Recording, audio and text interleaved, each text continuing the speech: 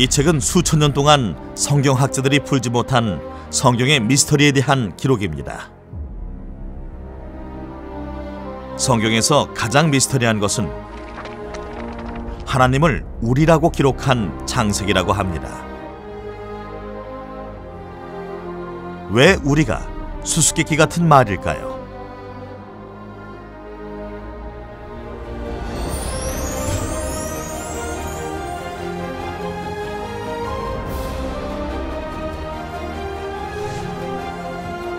아버지 하나님이 사람을 만들 때 내가 만들었다고 하지 않고 우리가 만들었다고 성경은 기록하고 있기 때문입니다.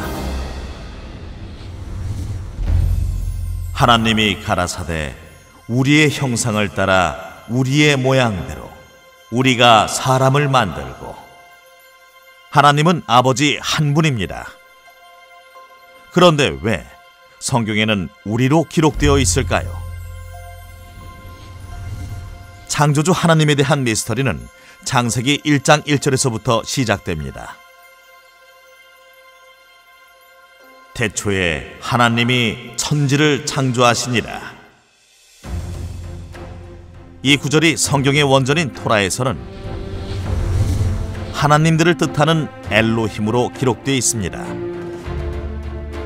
천지 창조는 아버지 하나님 한 분이 한 것이 아니라는 뜻입니다.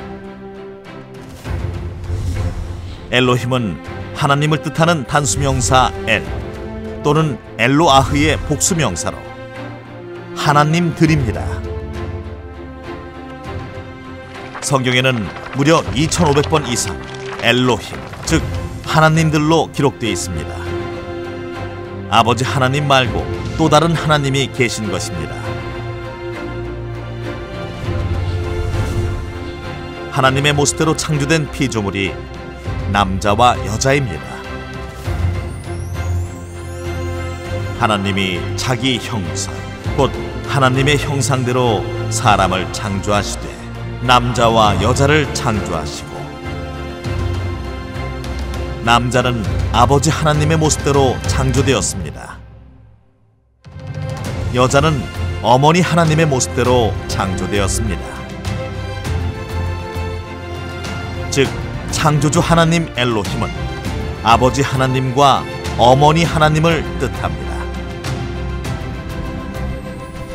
그리고 마지막 때가 되면 하나님께서 나타나신다고 약속하셨습니다. 성자 시대에는 하나님께서 예수님으로 나타나셨습니다. 성령 시대에는 어떤 모습으로 나타나셔서 인류를 구원하실까요? 이 시대에는 엘로힘 하나님이신 아버지와 어머니 하나님께서 육체로 나타나셔서 인류를 구원하십니다. 성령과 신부가 말씀하시기를 오라 하시는구나. 듣는 자도 오라 할 것이요 목마른 자도 올 것이요 또 원하는 자는 값없이 생명수를 받으라 하시더라.